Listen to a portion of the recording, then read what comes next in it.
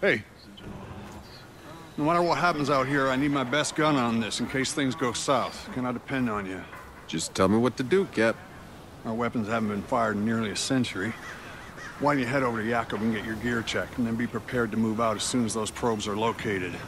Any questions? No word from Earth, I assume? It's really gone. She went dark 15 years into our journey. More or less as predicted. ECA's confirmed no communication since. Shit. You know, I uh, grew up a slumdog, fighting for scraps. Lost everyone, really. Long before the end. Doomsday just wasn't a thing I worried about. Hell, it was never gonna live past 20 anyway. Somehow. I was one of the ones who made it. Don't even know what I'm supposed to be doing here. If things go right, time's coming you're gonna have to leave all that behind. This is a new beginning. You could have a family here. Build a cabin. Grow old and get fat. That's not me, Cap. Know my way around bullets, not kids.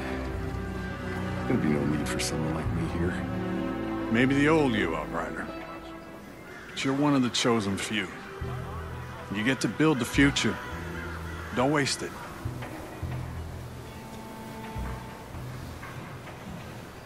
Wie ist es denn mit der Profiltiefe?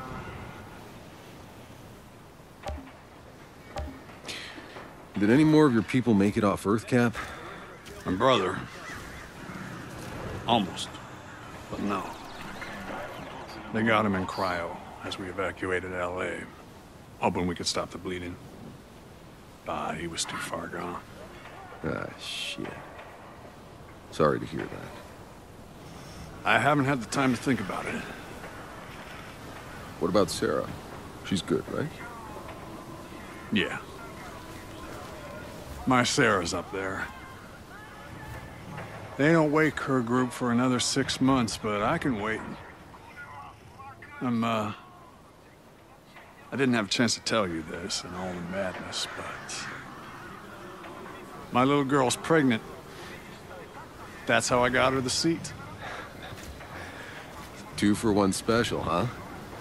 So that's why I've been in such a good mood since they unfroze your ass. Don't push it out right. Yes, sir, Granddad, sir.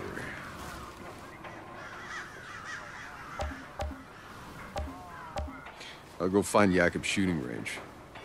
Good. We're on standby for those probes, so stay on alert.